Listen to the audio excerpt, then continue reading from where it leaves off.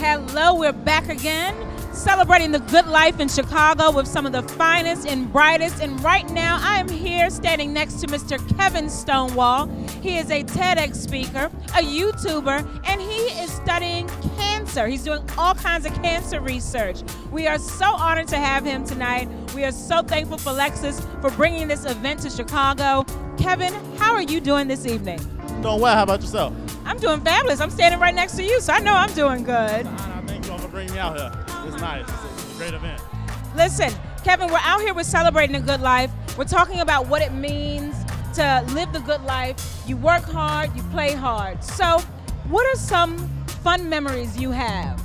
I think when actually, you know, throughout college so far, just to be able to be around a, a, a, a group of like-minded individuals, whenever we work hard together, you know, we might be having fun together. That's the best thing about having that support system. That's, so just that's been a fun part to me personally, just because it let me know there's somebody out there who's supporting what I'm doing, and I'm supporting what they're doing as well. So you know, that's what it's all about.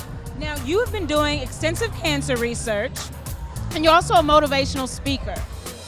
And we know with being a speaker, that can be very, very draining because you're giving a lot of your energy to a lot of other people. So, how do you refuel and celebrate all of that hard work?